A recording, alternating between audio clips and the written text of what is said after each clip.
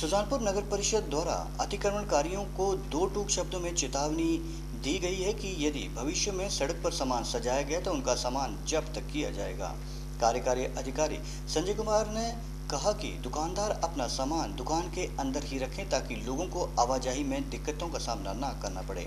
वहीं उन्होंने दुकानदारों को कूड़ा मिक्स करने पर भी चलान काटने की चेतावनी जारी कर दी है। उन्होंने दुकानदारों को समझाते हुए बताया कि कूड़े को ठीक ढंग से ना देने पर जुर्माने का प्रावधान भी किया गया है। उन्होंने बताया कि कूड़ा गीला और सूखा अलग अलग दें। यदि सूखा और गीला कूड़ा अलग अलग नहीं देते हैं तो सर्वप्रथम पाँच सौ रुपया और उसके बाद ये राशि दस हज़ार तक की हो सकती है।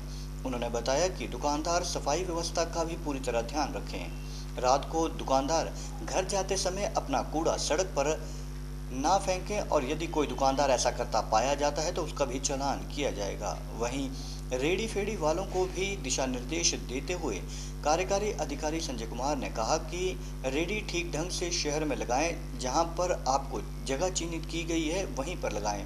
कार्यकारी अधिकारी से जब बात की गई तो उन्होंने बताया कि अतिक्रमणकारियों को निर्देश दे दिए गए हैं कि वे अपना सामान दुकान के अंदर ही रखें और कूड़ा, कचरा सड़क पर ना फेंकें।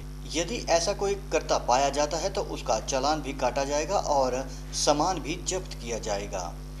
औचक निरीक्षण के दौरान नगर परिषद की अध्यक्ष बीना दिमान कनिष्ठ अभियंता सूर्य नगर परिषद के अन्य कर्मचारी उस समय मौजूद रहे।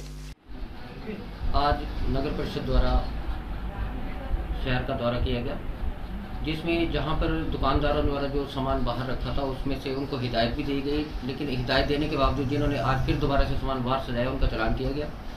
इसके अतिरिक्त सॉलिड वेस्ट मैनेजमेंट रूल्स के ऊपर जो है नगर परिषद अब सख्ती करने जा रही है। आज पहली बार सॉलिड वेस्ट मैनेजमेंट रूल्स के तहत जो हमारे चलान बुक्स आई हैं, उसके तहत आज एक चलान किया गया। जिसमें दुकानदार द्वारा जो है हमारी, हमारे सामने ही रेडी के बीच में जो है मिक्स गार्बेज डाला गया जिसके तहत उसका चलान आज पाँच सौ का किया गया। प्रत्येक शॉपकीपर यदि मिक्स कूड़ा देता है तो उसको पाँच सौ रुपया पहली पहली बार, दूसरी बार हज़ार, उसके बाद वो कंटिन्यूशन ऑफेंस में जो है बढ़ता जाएगा। इसी तरह घरों से भी अगर मिक्स कूड़ा आया तो उनको पहली बार ढाई सौ रुपया तत्पश्चात पाँच सौ रुपया उसके पश्चात जो है वो रेगुलर रूप से अगर ऑफेंस करते हैं तो उनको कंटिन्यूशन में जो है फाइन बढ़ता जाएगा। नगर परिषद द्वारा इसके अतिरिक्त आज जितने भी आ, हमारे रेडी फड़ी धारक हैं उनके वहाँ स्थानों का निरीक्षण किया गया क्योंकि उन्होंने काफ़ी जगह जो है वो जितनी उनको अलॉट हुई है उससे ज़्यादा उन्होंने घेर के रखी है।